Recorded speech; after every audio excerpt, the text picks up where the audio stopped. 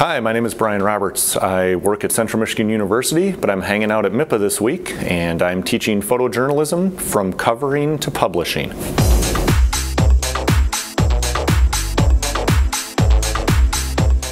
The covering to publishing class is set up to be a class for photographers and photo editors.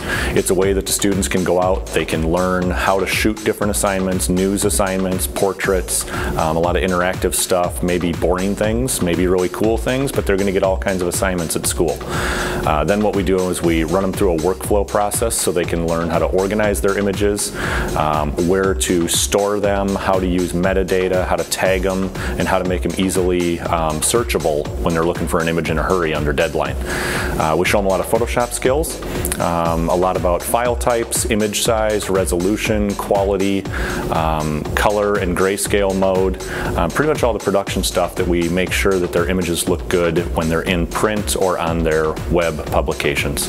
We learn like camera, like basic camera knowledge that um, I already knew, but it's like good to review. And then um, we learn more about Photoshop and how to adjust pictures and fix them and stuff. We had to go to like a fair or like a location shoot and take pictures there and we each got like a separate assignment like I had animals and um, we had to like talk to a stranger and get some information and take a picture and we had um, just like different stuff kind of like that. We had to do like environmental portraits. It's like people in their environments. We have learned some photo techniques as well as going up to strangers and being able to talk to them and get backstories and caption writing and we've also learned a lot about workflow which has been really helpful for me and I'm excited to take that back to my school.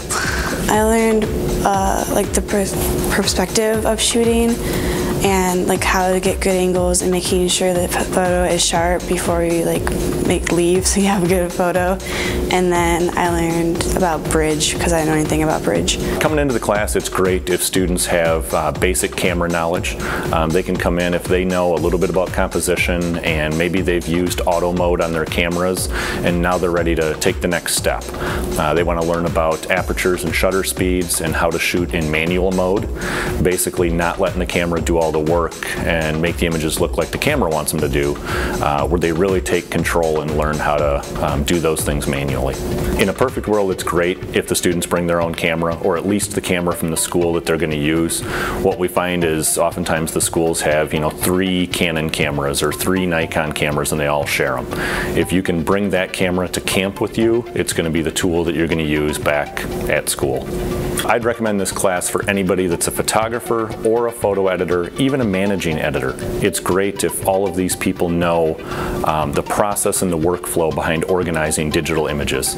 There's no question that we shoot, you know, far more digital images than we ever did on film. Um, the ability to quickly retrieve those images, find those images, and get them into your publications through a workflow is great for everybody. So that on deadline night, when you need something in a hurry, you can find it and make it look good and get it out there. Um, you don't have to come in with much other than like a little bit about taking pictures so you know kind of what you're looking for to take it but um, he teaches you most of what you need to edit your photos and all that.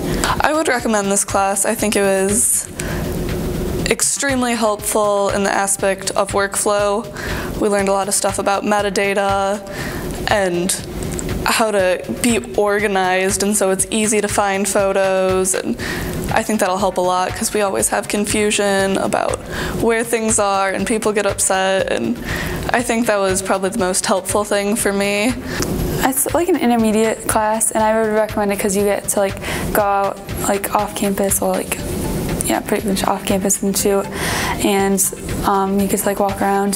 So I think you should have some basic knowledge because it's more of an intermediate class, so basic knowledge, and I'd recommend it because I don't know, I think I learned a lot.